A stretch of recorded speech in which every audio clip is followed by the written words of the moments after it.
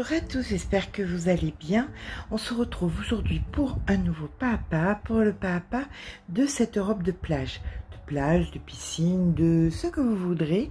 Euh, ça m'a beaucoup été demandé, vu la période, de mettre quelque chose, d'avoir une petite robe qu'on peut mettre par-dessus un maillot pour dissimuler parfois euh, les formes ou... Euh, voilà, c'est ce qu'il a été demandé, donc acte. alors, j'ai choisi d'utiliser le fil Sony de chez Cheval Blanc. C'est un coton euh, mercerisé. Je vous mets le lien dans la barre d'infos. De l'autre côté, vous avez la petite molette pour accélérer ou, ralentir la vidéo. Et j'ai décidé de travailler en 2,75. Vous pouvez aller euh, jusqu'à 3, 3,5 puisque ça va être quelque chose de très loose. D'accord? Donc, on va travailler sur deux pans le premier pan qui va venir se positionner donc comme ceci d'un côté de votre corps et le deuxième pan qui va venir se positionner comme ceci de l'autre côté de votre corps. Ici, nous allons joindre, nous joindrons ici sous le bras et sous le bras aussi de l'autre côté. Alors là, euh, la maille chaînette de base va venir se situer ici. Et pour l'autre côté, elle se situera ici. Bon, de toute façon, vous faites deux fois le même pan et vous retournez simplement de façon à avoir la maille chaînette de départ qui se, qui se trouve ici. Parce que le motif avec les petits, euh, les petits arrondis doivent se trouver sur les deux extérieurs. D'accord? Alors maintenant, parlons de la hauteur. Alors, on travaille, on a compris qu'on va travailler dans ce sens. D'accord? C'est ce sens. Donc ça, ça sera un quart de la largeur de votre corps.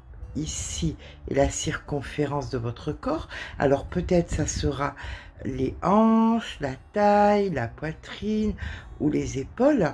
La plus large, ça sera à vous de voir. Comme vous pouvez le voir, c'est certes un seul pan, mais ça fait quatre parties. Une, deux derrière, 3 et 4. Donc vous allez prendre la circonférence la plus large de votre corps, on peut dire par exemple 120 cm. 120 cm, vous allez rajouter 10 cm pour les anses, hein. c'est quelque chose, vous pouvez même mettre beaucoup plus.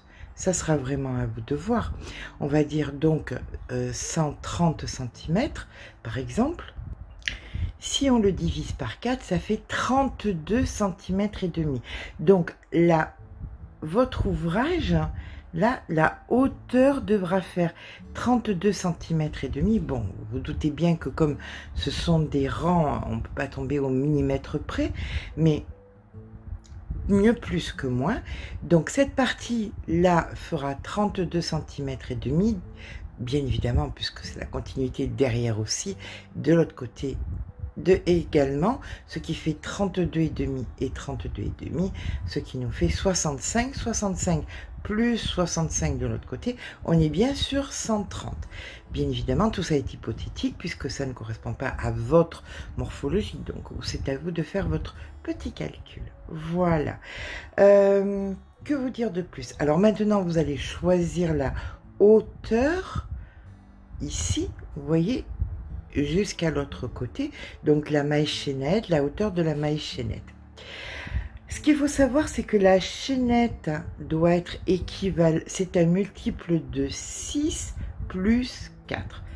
Il n'y a que ça qui est important, donc bien évidemment, ce qui nous donne un nombre de résilles impair, puisque 6, ça nous donne 2 résille et le plus 4 nous en donne une autre. Tout ça, c'est pour pouvoir décaler le deuxième rang. D'accord? Donc, multiple de 6 plus 4, ce qui nous donne un nombre de résilles impair. Voilà, bien écoutez, je pense que j'ai donné toutes les informations. Pour ma part, j'ai donc besoin de nombre de 232 mailles. Donc une fois notre chaînette faite, on va venir, donc on commence ici avec deux mailles en l'air et une bride dans la première maille. Donc une, deux mailles en l'air et dans la maille ici, on fait une bride. suivi de deux mailles en l'air, on passe deux mailles et on vient faire une bride dans la maille d'après. Donc deux mailles en l'air, on passe deux mailles, une, deux, et donc ici on vient faire une bride. Et on recommence deux mailles en l'air, on passe deux mailles, dans la troisième on fait une bride. deux mailles en l'air, on passe deux mailles, dans la troisième, on fait une bride. Bien ça, écoutez, on le fait jusqu'à la fin du rang. On se retrouve donc en fin de rang. J'ai oublié de vous donner euh, les informations importantes qui sont que les petits ronds là sont des mailles en l'air. Les croix sont des brides. Et les croix euh, comme un, signe de multiplication, comme ceci, ce sont des mailles serrées. D'accord? Ça sera un petit peu plus clair par rapport au diagramme. Ah oui, information importante. Euh, je dessine des diagrammes euh, avec les, motifs que je peux créer, tout ça. Mais bon, je les dessine sur des supports qui sont pas très très propres pour vous les montrer. Euh, ensuite, euh, sur papier par exemple. Donc je cherche quelqu'un qui sait faire euh, les diagrammes, qui sait les reproduire sur, en JPEG. Voilà. En, en, image, en fichier image, et non pas de cette façon un petit peu cafouillée, on va dire. Voilà. Alors, là maintenant, nous sommes ici en fin de rang. On vient faire deux mailles en l'air et une bride dans la même maille. C'est parti. Une, deux mailles en l'air, on tourne le travail. Dans la même maille ici, on vient faire une bride, comme ceci, suivi de quatre mailles en l'air. On va prendre le crayon, ce sera plus simple. Suivi de quatre mailles en l'air et dans la deuxième résille, on fait quatre brides. Donc suivi de quatre mailles en l'air, 1, 2, 3, 4. On passe la première dans la seconde résille. Ici, nous faisons 4 brides. 1, 2, 3 et 4. Et on recommence. 4 mailles en l'air, on passe une résille. Dans la résille d'après, on fait 4 brides. 1, 2, 3, 4. On passe une résille, dans la résille d'après, 4 brides. 1, 2, 3 et 4. 4 mailles en l'air, pas aussi. 3, 3 euh, et 4, on passe une résille et dans la résille d'après 4 brides. Et ça, on le répète jusqu'à la fin du rang, du fait que ce soit un nombre de, euh, de résilles impaires, on finira par une résille vide. D'accord? C'est celle d'avant qui aura les 4 brides. On se retrouve quand on est au bout de rang.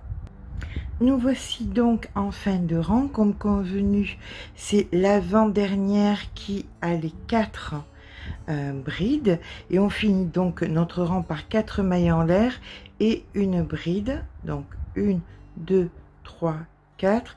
Et on vient faire ici notre bride. Voilà, donc nous sommes ici, on va venir faire deux mailles en l'air, une, deux, on tourne le travail et nous débutons donc le troisième rang par une bride, une maille en l'air et dans la même maille deux brides. Donc une et deux. Suivi de deux mailles en l'air une maille serrée, deux mailles en l'air. Alors, on fait deux mailles en l'air. Au milieu, là, vous voyez ici des quatre brides, on fait une maille serrée, on repart avec deux mailles en l'air pour venir faire ensuite dans les espaces deux brides, une, deux, deux mailles en l'air, deux brides, une, deux, suivi de deux mailles en l'air et on recommence. Entre les quatre brides, en plein milieu, une maille serrée, deux mailles en l'air. Dans l'espace, deux brides, deux mailles en l'air, deux brides. Une, deux, deux mailles en l'air et deux brides. Une et deux. Deux mailles en ou pas, deux mailles en l'air. En plein milieu ici, une maille serrée. Deux mailles en l'air. Dans l'espace, deux brides, deux mailles en l'air, deux brides. Une, deux brides, deux mailles en l'air et deux brides. Et on recommence donc deux mailles en l'air. En plein milieu ici, une maille serrée. Et ainsi de suite. On se retrouve en fin de rang pour venir faire donc le petit changement ici, hein, puisque ça ne sera pas de bride, mais en de bride. Donc, on se retrouve à la fin. Euh, ce qu'il est important de noter, c'est que ce rang numéro 3 est hyper, hyper important, puisque c'est un premier rang de répétition. C'est le premier rang de 4 qu'on répétera euh, le nombre de fois nécessaire pour atteindre la largeur nécessaire de notre ouvrage. D'accord? Donc celui-ci est en fait quasiment le rang numéro 1 puisque c'est lui le premier rang qu'on va répéter. Pour l'instant, écoutez, on, on, continue cette séquence, on se retrouve en fin de rang. Donc nous voici donc à présent à la fin du troisième rang. Nous venons de faire ici deux mailles en l'air, mailles serrées, deux mailles en l'air et nous allons faire dans la dernière maille deux brides mailles en l'air et une bride. Donc dans la maille ici, on fait deux brides, une et deux, une maille en l'air et deux brides. Alors, si vous le souhaitez, vous pouvez aussi marquer, venir marquer le début de ce rang.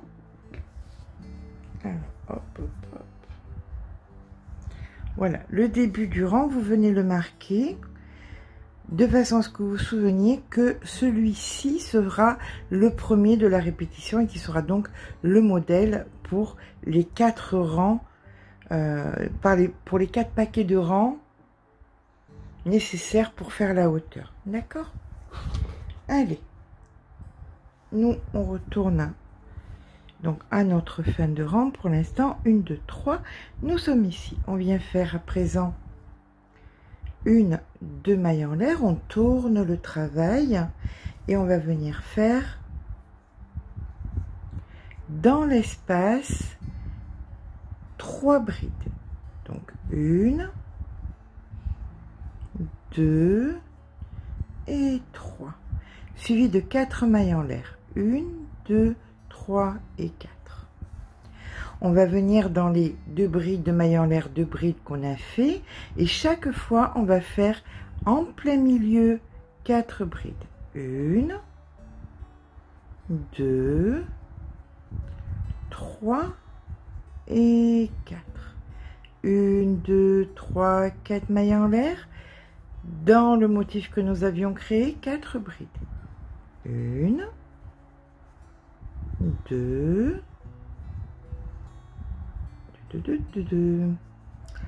3 et 4. 4 mailles en l'air. 1, 2, 3, 4.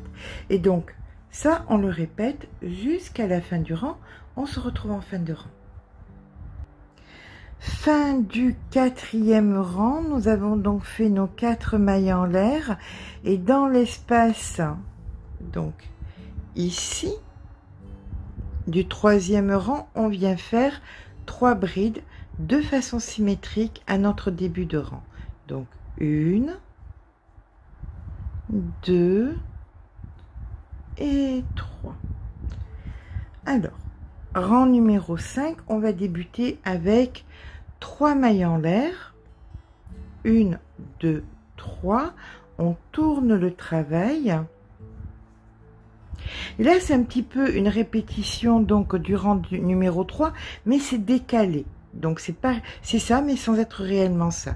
Donc là on part tout simplement à faire dans les espaces que nous avons créés nos fameuses deux brides. Donc une, deux, deux mailles en l'air et deux brides. Suivi de quatre mailles en l'air. Et dans l'espace, encore une fois, on refait deux brides de mailles en l'air. Deux brides, une, deux, deux mailles en l'air, deux brides, une, deux, quatre mailles en l'air de séparation, encore un motif de bride de mailles en l'air de bride, donc une, deux, deux mailles en l'air, deux brides, une, 2. D'accord Eh bien, ça, cette séquence, on la répète jusqu'à la fin du rang et on se retrouve donc en fin de rang. Nous arrivons donc en fin de rang, donc ne vous affolez pas si euh, vous avez l'impression que ça s'étale un petit peu, c'est tout à fait normal. Hein c'est le motif qui veut ça. On arrive donc à la fin de notre cinquième rang où nous venons faire une, deux mailles en l'air et on vient faire ici donc une maille serrée. On repart avec une, deux, trois mailles en l'air. On tourne le travail. Comme ceci. Et là maintenant, nous allons faire une double bride. Donc deux fois le fil sur le crochet. Au même endroit ici, on fait notre double bride comme ceci, suivi de une, deux, trois mailles en l'air. Donc c'est ici, hein, c'est le rang numéro 6. Et comme nous l'avons fait deux rangs avant, dans les motifs, on va venir faire quatre brides. Donc une, deux, trois et quatre suivi de 1, 2, 3, 4 mailles en l'air. On revient dans les motifs faire 4 brides. 1, 2,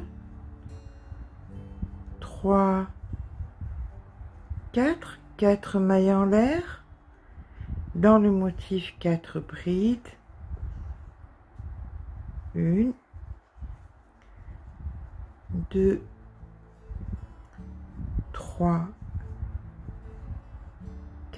et on poursuit donc ça jusqu'à la fin du rang. On se retrouve en fin de rang.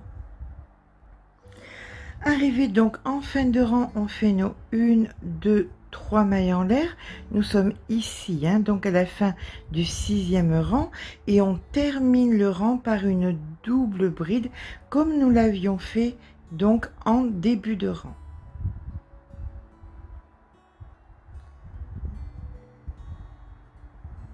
Voilà. Et à partir de maintenant, nous allons tout simplement recommencer le rang numéro 3. C'est exactement le même et nous allons travailler donc par séquence de 4 rangs. Bien écoutez, c'est parti. On vient tout, on fait nos deux mailles en l'air. Pardon, donc une, deux mailles en l'air. On tourne le travail et on recommence exactement la même chose. Une bride une maille en l'air, deux brides, une, deux, deux mailles en l'air, en plein milieu des quatre brides précédentes, une maille serrée, une, deux mailles en l'air, dans les espaces, deux brides, deux mailles en l'air, deux brides, donc une, deux, deux mailles en l'air, deux brides, une,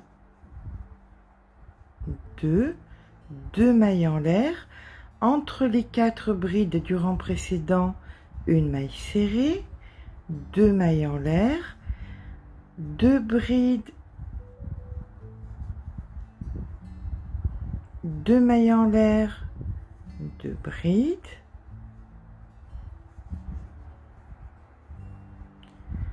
deux mailles en l'air, une maille serrée entre les quatre brides du rang précédent, deux mailles en l'air, deux brides de mailles en l'air, deux brides, une, deux, deux mailles en l'air, deux brides, une et deux, deux mailles en l'air, une maille serrée, voilà, donc écoutez, je ne vais pas vous prendre le cerveau jusqu'à la fin du rang, mais comme vous pouvez le voir, euh, c'est exactement pareil que ce rang-ci. Donc 3, 4, 5, 6. 3, 4, 5, 6 et ainsi de suite jusqu'à ce que vous obteniez la hauteur que vous désirez. Notre ouvrage se positionnera donc dans ce sens, hop, voilà, comme ceci. Ça, ça sera vers l'intérieur de la poitrine et ça, ça se dirigera donc vers les épaules. Donc, on fait là deux pans, nos deux pans, de la largeur dont on a besoin et on se retrouve une fois que nos deux pans sont faits à de suite. Avant ça, je vous laisse quelques secondes le, le diagramme de façon à ce que si vous voulez faire un imprimé écran, c'est plus facile qu'il n'y ait pas mes grosses mains en plein milieu. Et eh bien voilà, une fois que les deux pans sont faits, alors ils sont assez grands, hein, puisque j'ai voulu quelque chose, comme vous avez pu voir sur la photo, d'assez long, on va venir joindre. Alors, ça, ça va être l'extérieur côté épaule, c'est-à-dire ici,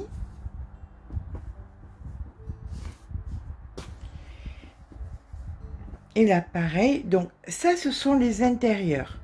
D'accord? Là où il y avait l'hérésie, ce sont les intérieurs.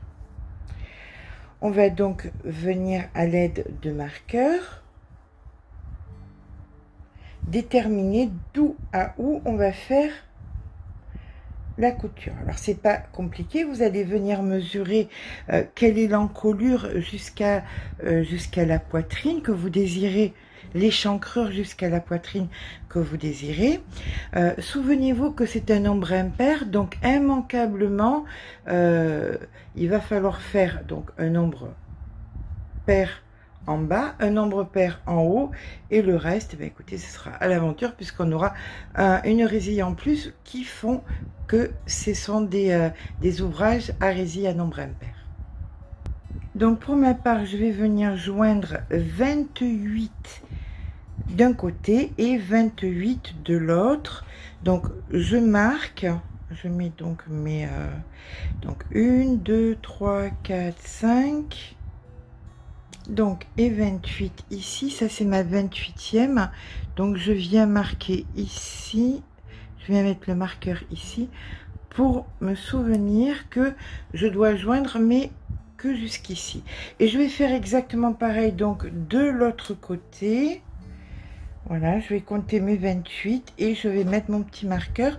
Ce qui sera entre les 28, et eh bien écoutez, ça sera l'échancrure du col. Donc l'échancrure du, du col, une fois déterminé, on va venir joindre les deux parties. Donc on se remet en bas de l'ouvrage. On vient mettre notre fil. Hop là.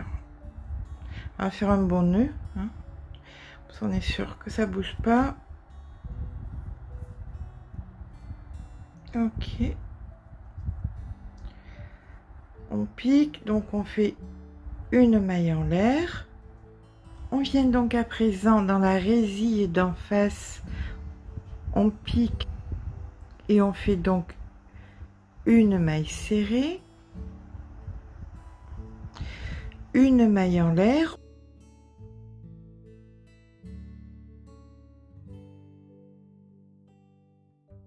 on revient dans la bride ici, on fait une maille serrée, on va dans la bride d'en face ici et on fait une maille serrée, une maille en l'air, dans la bride vers nous ici, une maille serrée, dans la bride en face, une maille serrée, une maille en l'air, dans la bride vers nous, une maille serrée, dans la bride en face, une maille serrée, une maille en l'air, dans la bride vers nous, une maille serrée, dans la bride d'en face, une maille serrée, une maille en l'air, dans la bride vers nous, une maille serrée, dans la bride en face, une maille serrée, une maille en l'air, et ainsi de suite jusqu'au marqueur. Et on fera ça aussi euh, de l'autre côté. D'accord? Donc voilà ce que ça nous donne. On se, on se, retrouve donc une fois qu'on a joint nos deux côtés. Bien évidemment, vous, euh, vous coupez le fil, vous faites un nœud, vous rentrez le fil. On se retrouve. Donc voilà, une fois la couture, les coutures centrales d'effectuer ce que nous obtenons. Donc un col en V. Donc maintenant, on va venir faire les côtés. D'accord? Donc pour les côtés, on va venir d'en bas. Hop. On positionne motif sur motif. Comme ceci. Hop, hop. Jusqu'à laisser une largeur de manche cohérente. Hein voilà, motif sur motif. On regarde. Oh, il y a encore pour un petit moment. Voilà, voilà, voilà, voilà. Voilà. Comme ceci. Qu'est-ce qui nous reste? Qu'est-ce qui nous reste? Il nous reste ça. Allez, on descend encore un petit peu. Voilà, je vais m'arrêter ici. Donc ici, je mets le marqueur. Bien évidemment, je redescends pour compter combien j'en ai, pour faire pareil de l'autre côté. Donc, lui, 1, 2, 3, 4, 5, 6, 7, 8, 9, 10, 11, 12, 13 et demi. Voilà, et eh bien je fais pareil de l'autre côté. Je viens marquer mes 13 et demi. Voilà, donc le 13e marqué, bien maintenant, je vais tout simplement retourner comme ceci. Je pars de dessous le bras. Là, donc, c'est la manche. Je pars de dessous le bras. Mon crochet, mon fil. Et on va venir joindre une maille dans une maille. Vous voyez, comme ceci. Voilà. Donc là, une maille en l'air. Je mets le fil tout le long pour le rentrer en même temps. Et maintenant, je prends la maille de devant, la maille de derrière, maille serrée. Maille de devant, maille de derrière. J'englobe le fil en même temps, maille serrée. Dans les espaces, on se souvient que c'était deux mailles en l'air. Eh écoutez, on s'embête pas. On vient faire une et deux. Là, nous avons la maille serrée centrale. Donc, on prend ici, on prend là une maille serrée. Là, c'était deux, donc on fait deux mailles. Une, deux. Et ça, ainsi de suite. Et là, maintenant, sur chacune des mailles que nous avons, on va faire des mailles. Et ainsi de suite sur tout le long d'un côté. On ferme d'un côté, on ferme de l'autre. Au bout, on coupe, on fait un nœud, on rentre le fil et on se retrouve. À de suite. Donc voilà, la couture euh, des côtés est terminée, donc ça donne ça. Vous voyez, moi j'aime bien parce que ça fait pas euh, une couture entrée, ça fait euh, sur le côté des, petits... Sous vous voyez, là, ça c'est la manche, et ensuite vous avez, ça part comme ça sur le côté.